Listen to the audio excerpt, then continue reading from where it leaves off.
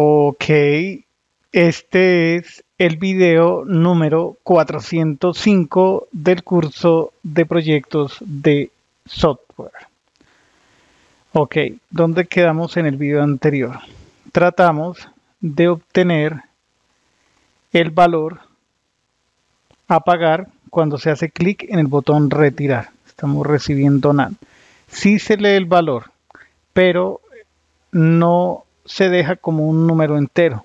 Queda formateado como un valor monetario. Bien, em, a ver qué podríamos hacer. ¿Qué pasa si dejamos en lugar de comillas, eh, perdón, en lugar del separador de millares, que es el punto actualmente, dejemos la coma? ¿Qué pasaría? ¿Qué pasa si dejamos como separador de millares la coma? Listo, entonces regresemos aquí. Voy a colocar un valor arbitrario. Digamos este. Aquí como cadena de caracteres, cambiemos el punto por una coma. Ahí está. Eh, refrescamos esta ventana seleccionamos la sede eh, damos clic aquí encima vale. Ok. O sea el problema el problema realmente está en que la librería numeral no convierte valores separados por punto. No puede realizar esa operación. Pues digamos que para que funcione, hagamos lo siguiente. Cuando se obtenga el total, decimos replace, eh, separamos, replace I replace all, que reemplace el punto por comillas. Veamos a ver si ahora sí funciona seleccionamos la sede. Ok. Listo. Pues es una solución. Ahí es operable. Esto ya lo podemos quitar. Esto también. Escribamos aquí un commit que diga es un, un commit que diga lectura del, de la placa y el total a pagar. Ya tenemos esos valores. Bueno, eh, después de que dé clic ahí, ah, vamos a hacer que aparezca un modal de este tipo. La librería Suite Alert cuenta con una capacidad impresionante, por ejemplo, para tener HTML eh, personalizado. Creo que hay uno que se llama por aquí el que tenga la propiedad HTML. Ese tiene una imagen. No sé, ahí está. Em, a ver, creo que este no sirve. Este tiene la propiedad HTML. Uno más sencillo, a ver, HTML, dos puntos. A ver, HTML, dos puntos.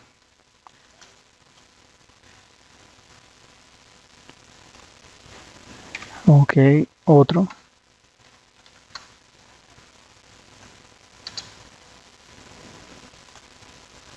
Este, este, básicamente tiene un formulario, pero yo sé que lo que podemos hacer ahí es mostrar un diálogo, un diálogo, ah, miren este, este sí es,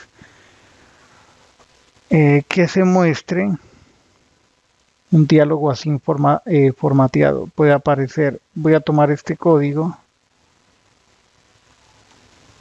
al momento de, de realizar el, cuando se vaya a realizar el pago. Entonces, eh, cuando se presione ese botón Great, cuando se presione ese botón, haremos que, bueno, no realmente, sino que no diga Great, que diga pagar. Y que ahí ya se saque el vehículo del parqueadero. ¿Vale? En este diálogo aparecerán todos los valores. Bien, entonces eh, voy a copiar esto, voy a ir hasta aquí, hasta ChatGPT. Ayúdame a formatear, a, sí, a formatear con código HTML. Puede usar CSS con Bootstrap 4, versión 4. Una ventana de Suite Alert 2. Este es el código que tengo actualmente.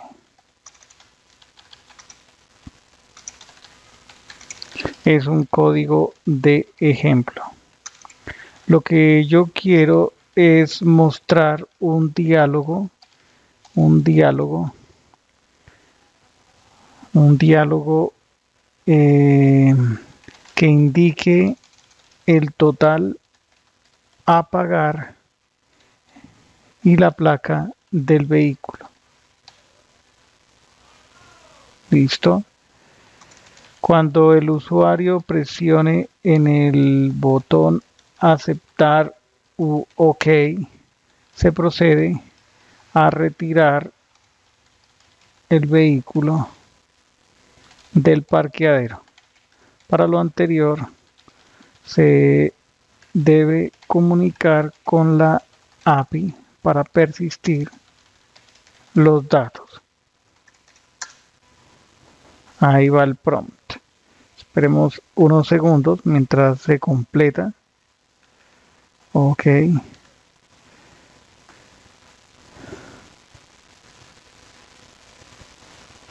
Esperemos ahí. Ahí se está procesando.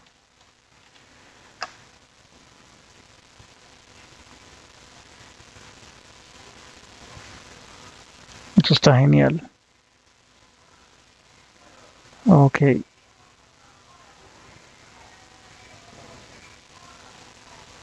Esperemos que se complete. Ahora sí, tomo ese código, lo copiamos y nos dirigimos. Voy a reemplazar todo esto.